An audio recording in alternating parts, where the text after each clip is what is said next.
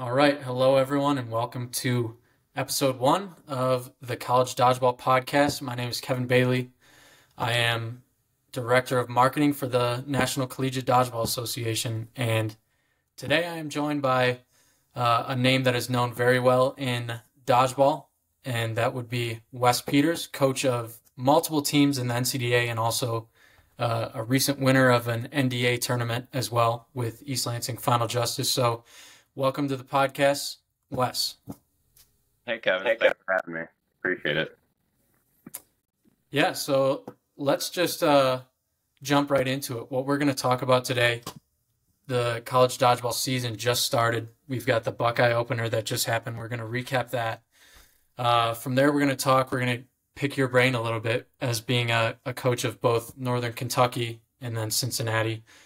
I'd love to hear your input on on recruiting and and retention and and how all of that uh, has gone for you, and also just your your tips and tricks for that that any listeners might want to know. And then from there, we'll even jump into some talk about uh, the National Dodgeball Association wrapping up its first season. You're on the board for that.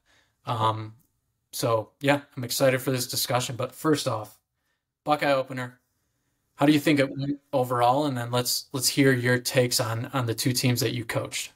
Sure. Yeah. No, I, I thought it was a really good tournament. Um, timeline wise, we ran a little behind, but not too bad. That's par for the course for an NCDA tournament. Um, but no, the action was great. I mean, almost every single game was super close, except for basically the games NKU and CSU were in for the most part. Although that specific game with those two teams was very close. Um, Shout out to my Norse getting their first W in their first ever match. Yep. Um, let's see, my other they went one and two on the day. UC, my other team went. I guess I should say my first team. They'll get mad at me if they hear that and I say they're the other team. but they went two and one. Uh, OSU was the talk of the tournament, though. Them and Kent State both going three and zero. Oh. Um, Kent maybe an easier schedule, but stomped Ohio into the ground, five to one, I think, five zero, five two, something like that. I can't remember. Super five impressive one. for them, five one. That's what I thought. Yeah, was. yeah five one. Um, super impressive result. Braden Stevens caught every ball that was ever even thrown remotely his direction. I was told he didn't drop a single ball. So that kid might very well just be the best in the league right now. Um, but Kent brought full squad and then some. It looked like to the tournament, so pretty pumped that they're back, frankly. Um, and I'm kind of hopping around here a bit, but LSU also going three now. Host team, favored team to win nationals coming into the year by the preseason power ranking. Um, looked a little iffy against us in the first match, but you know they've only been practicing for a few weeks, like most teams, and um, they have ten returners, but you know, it's that first match of the season. They're getting the jitters out. You're breaking in frustration. Yeah. Those kinds of games in these first tournaments can be a bit wonky in that way. Everybody's trying to get a feel for the talent that they have and that they brought to the tournament and, and get a feel for their strategy. So overall, pretty awesome tournament. Like I said, almost every game was competitive, so it was really good. Especially in part one, is really good footage, great feedback. So, great day at. Oh. Yeah, that's awesome. Um, yeah, I mean, my biggest takeaway when I looked at the results, I was only able to watch a little bit of the tournament. I saw some of the Ohio State Cincinnati game. That was the game I was most excited to, to see personally. But um, my take, my first takeaway was is Kent State back. That's really, I mean, I think that there's a lot of people in the league right now that don't realize that back in the day, back in our day, mm-hmm.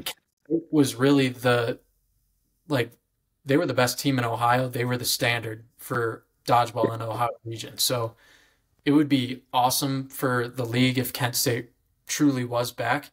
I just, it's hard to tell yet because of the opponents that they played. Ohio being the best team they played, and they had a horrible showing, obviously. Mm-hmm. I, I'm really itching to see Kent State against one of those top teams, and I know I've had conversations with other people, and they've said the same thing. I want to see them against Ohio State or Cincinnati or you know one of the top Michigan teams, whatever it might be. So, what is your take um, on a one to ten scale? Is Kent State back? Where are they at?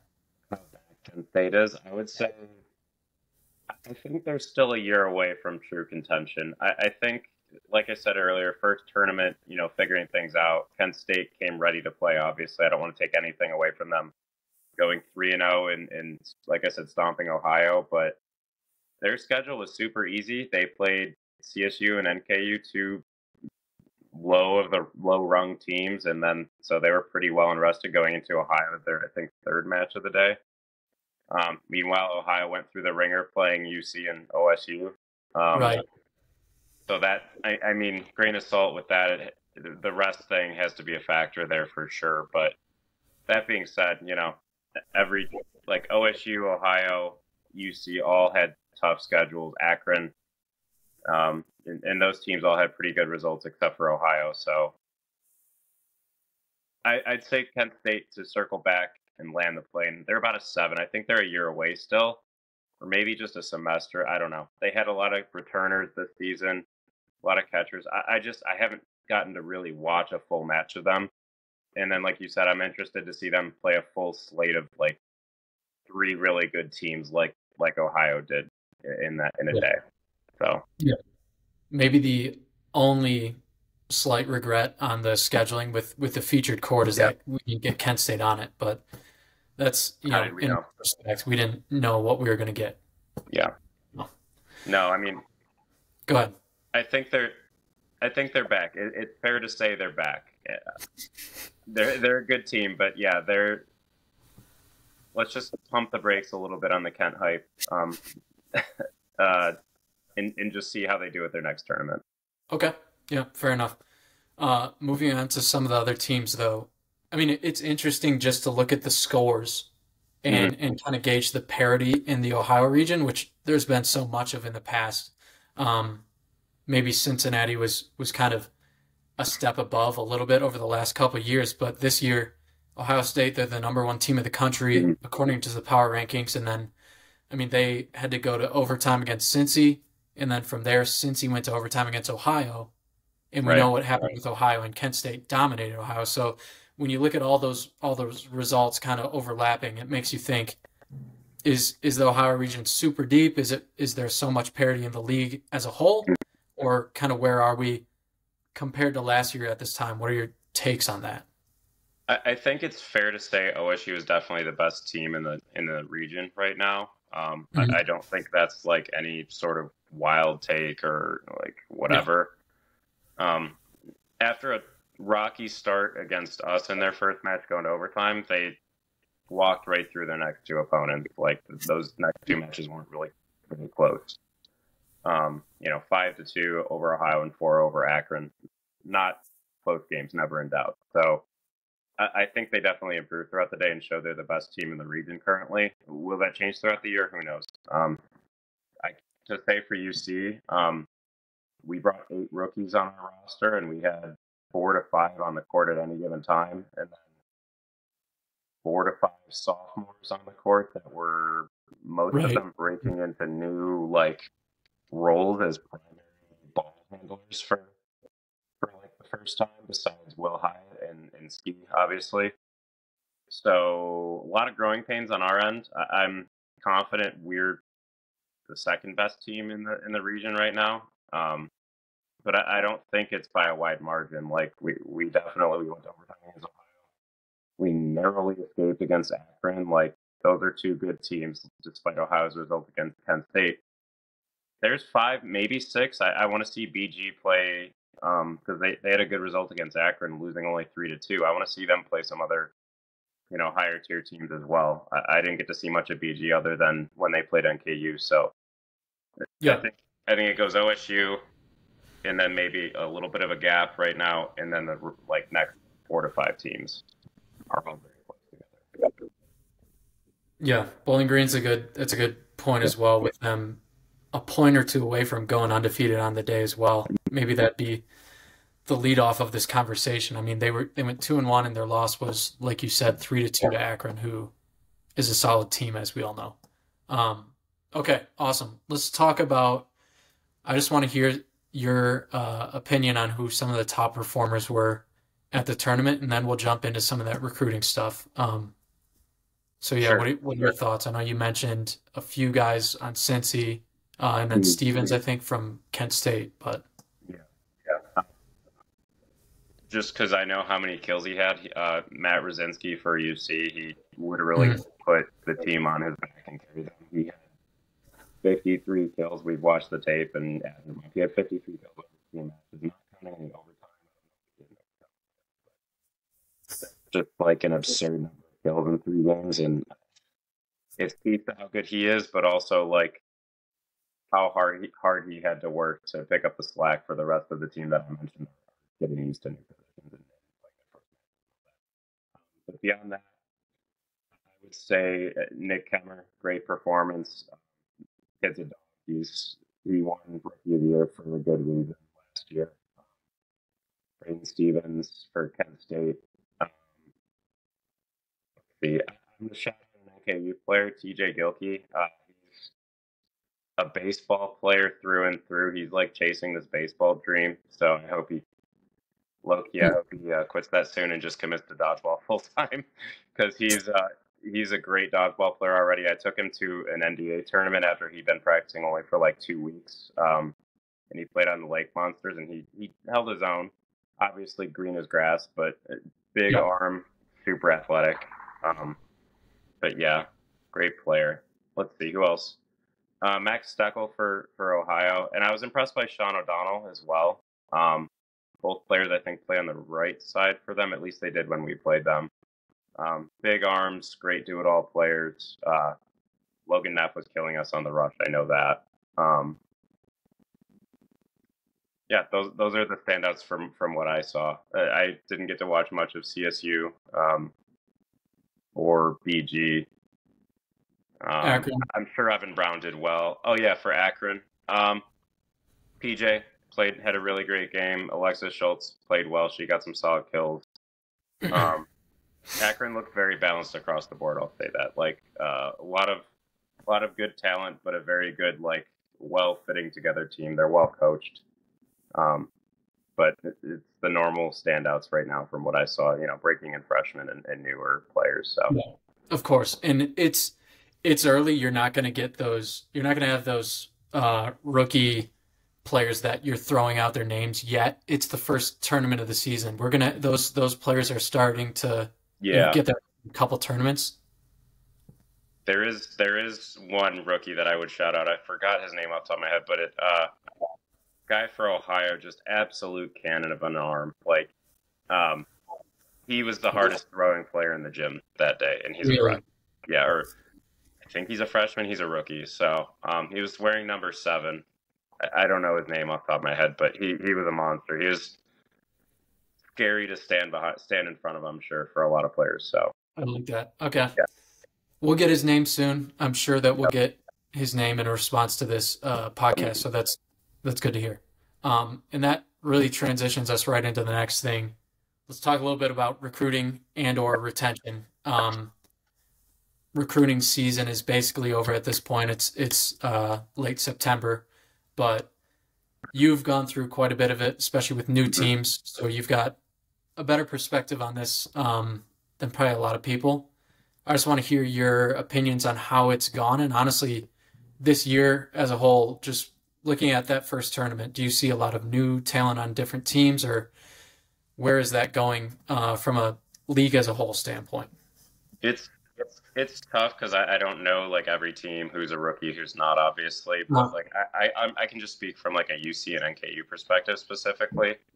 Um, we had a lot of holes to fill on UC, and obviously NKU being a brand new team, like just need people. Um, my number one tip for NKU, um, anybody and everybody is welcome, and that goes for any club can use that advice, but especially when you're starting a brand new club, you just need people who are like happy and like want to play dodgeball no matter what their skill level is. You need to build that foundation before you can even think about being picky. Like obviously you want to like talk more to the the kids who stand out to make sure that they stay, but like you, you gotta it's a full court press when you're starting a new club. You gotta hang flyers.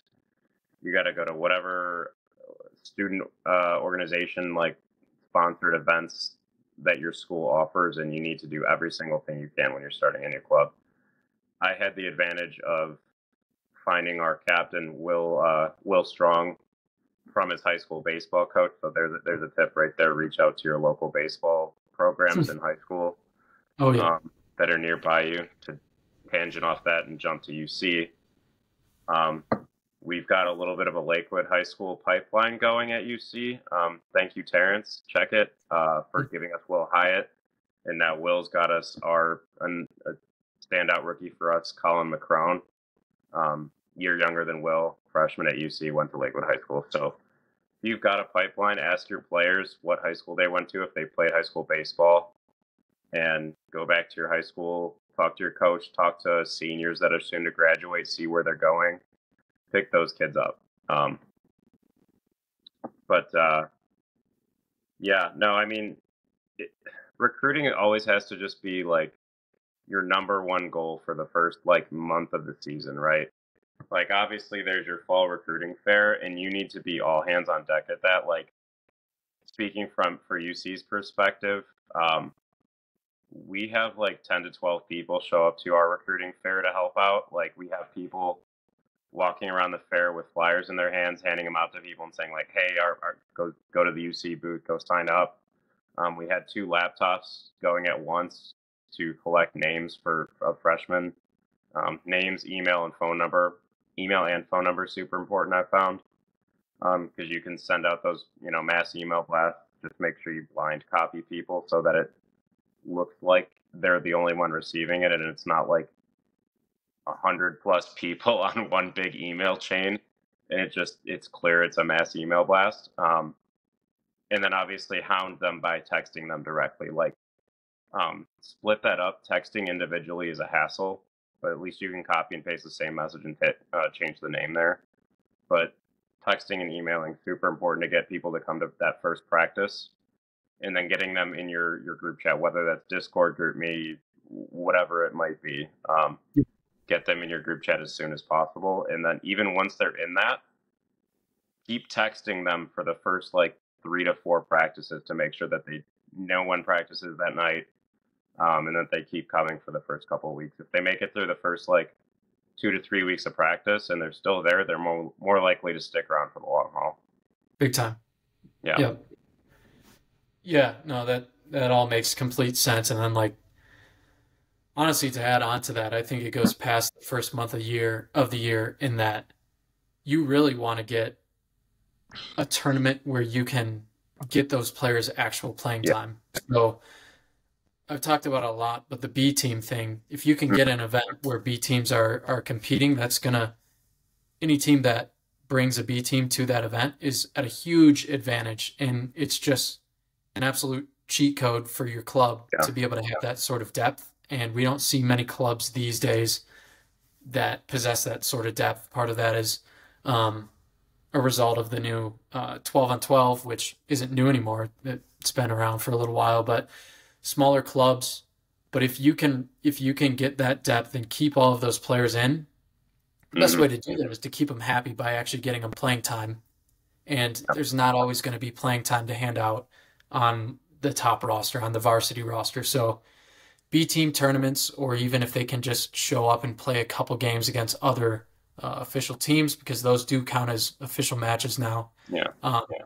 All of that's super important too. So getting them to stick around for those first three weeks, but then on top of that, keep those players happy, keep them Mhm. engaged. Um, and I think that that's the phase that we're in now for the next month or two, um, where you've got to really keep those players engaged, and they're going to be coming back for the winter semester after that. So, Yeah. um, yeah, like you said, it, it, just speaking from like UC and NKU's experience for UC, we brought eight to the tournament last weekend on our roster, eight freshmen. It was a struggle to get them all playing time because we were in such tight matches, right? It sucked. I felt so bad for for some of the kids that I, I just like I they weren't quite ready to be in prime time yet, but I wanted to get them experience. Um, so it, it felt kind of bad, but like we brought them, and then we had a couple extra kids come too. So like even if you can't bring a B team and like you only have limited spots on your roster, I would encourage people to invite those extra kids who um, freshmen who don't make the roster to come and travel with you to the That's tournament huge. as well and make them feel like they're a part of the team. Um, Yeah, that's I think huge. we had two or three guys come and, and just watch the tournament and support who were freshmen and didn't make the first roster. Um, Okay. And then, uh, contrary to what some people might believe, getting if you're a brand new team, playing your first matches as soon as possible, as soon as you think they're the least bit, you know where I went with that, uh, the least bit ready, uh, is paramount. Like with NKU, we'd only been practicing for like four weeks, but like that experience was invaluable. Like the first match, they happened to win it against CSU. It was amazing, and I'm super proud of them. But like results or not, like they progressed so much as like individual skill as a team, like figuring out what they should be doing on the court so much by playing real matches. Whereas if we're playing six v six or seven v seven at practice, like it's it's night and day. You can't. It's not comparable. Like the type of experience and atmosphere that it that a real matches give you. Um, and now they're all hooked, right? Like I've already asked them if they want to go to UC's tournament that we're doing in a few weeks. Like, and I've already got more yeses from kids that I wouldn't have originally thought would want to go to a tournament or go to a second tournament, and they're all about it already. Like after like one day of matches, like Yeah. That's that's crazy. early playing time is super important, whether it's freshmen on an established team or or every player on a brand new team. The sooner you can get matches in. Um, shout out to the- the southern schools, UNG, GSU, and uh, Ole Miss, getting early matches soon as well. That's going to help all those teams tremendously. Yeah, that is big. And yeah, shout out to Ole Miss as well, being a new Mhm. team. Um, we'll see if their first match is as successful as as NKU because coming out one and zero in your Yeah, very first yeah. event, and then uh, obviously they lost games to some other teams that um, they were overmatched, and that's expected. But winning a game in your first tournament is is wild, and that um, Yeah. is reserved to only a handful of teams that are, you know, very good in their It first year. Jamie, you it. entire season to win our first match. We didn't win it Right. nationals. Yeah. Yeah. So ahead of schedule. Um, and that's exciting. And congrats on that win.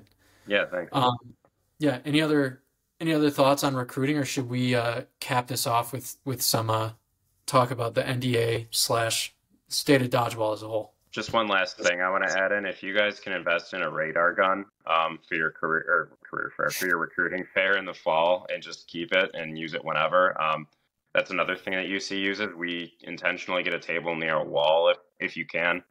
I know a lot of groups are outside, so like you might have to like buy some like pop up netting um, or something that you can keep balls confined into to throw at Okay.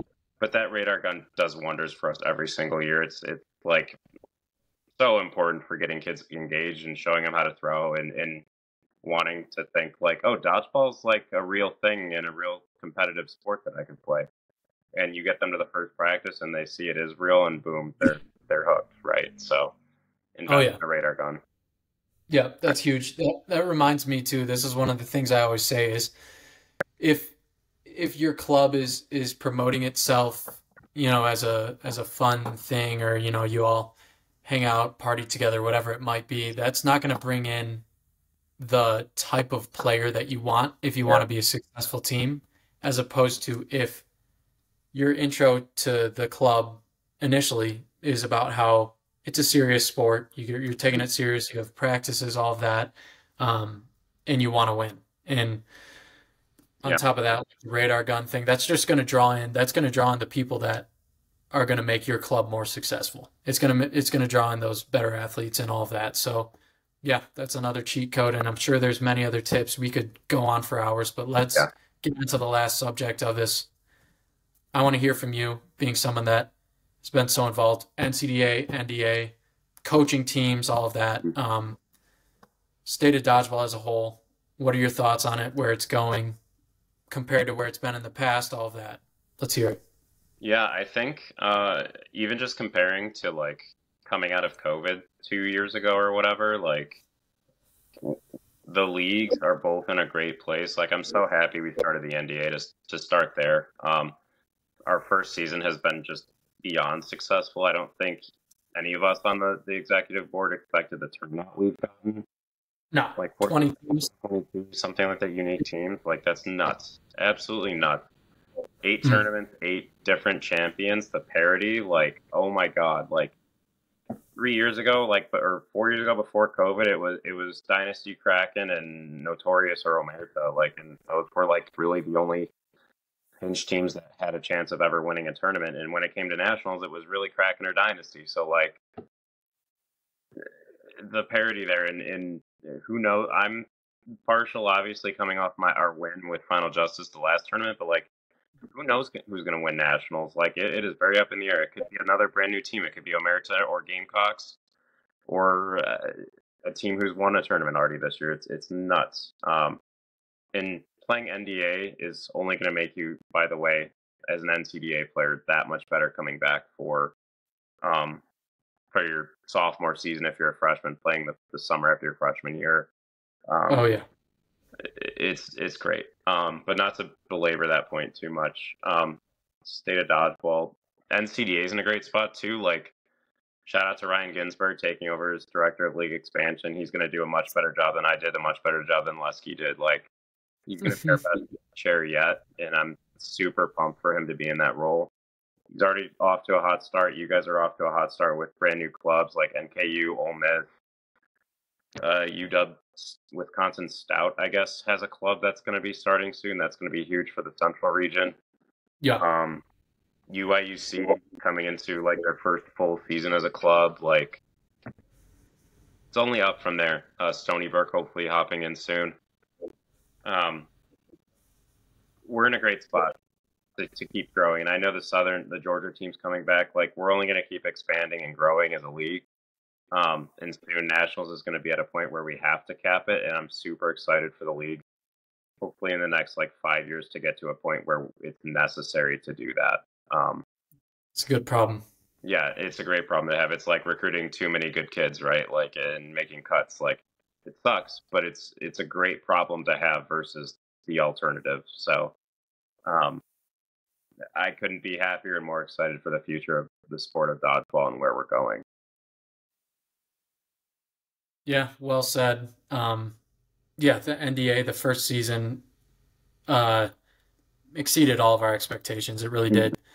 And the only way that that was possible to happen was if all of these people stepped up and, and produced teams. And the interesting thing about the NDA compared to a lot of these other um, post college leagues is is that these teams are unique teams. It's not like there's all of this overlap. So there, when we say there's 22 teams, there was 22 teams, and each of those teams is up to 12 players on that are rostered with them. So the numbers are are way better than we expected. Even, I mean, going back, I know you remember this in 2021 when we or 2020 maybe it was. It was 2021 when we were experimenting. 21.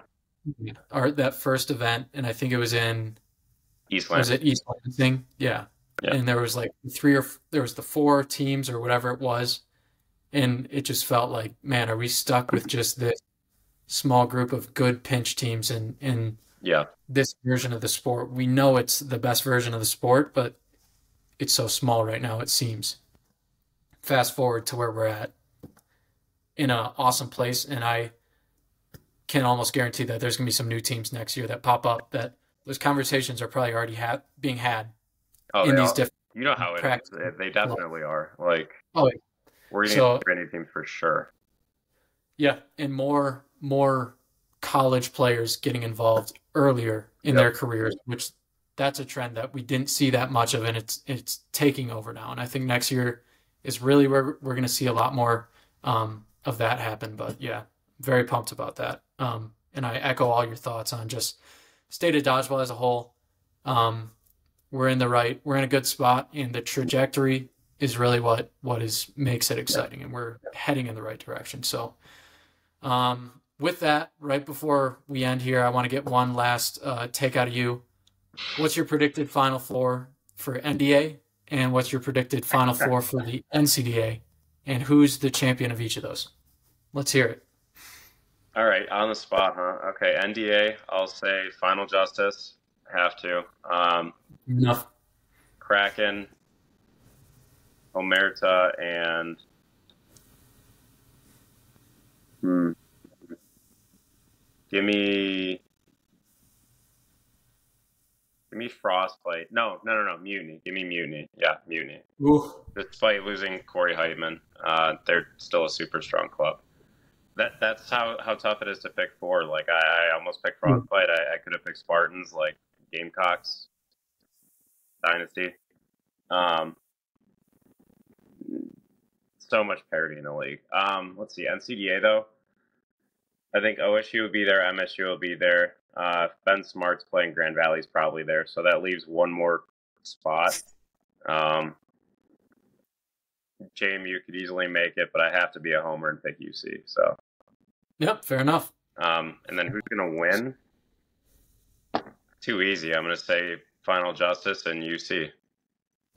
Okay, oh, man, that would be absolute disaster for everyone else besides you. And I hope that doesn't happen uh, for that case. But that being said, best of luck.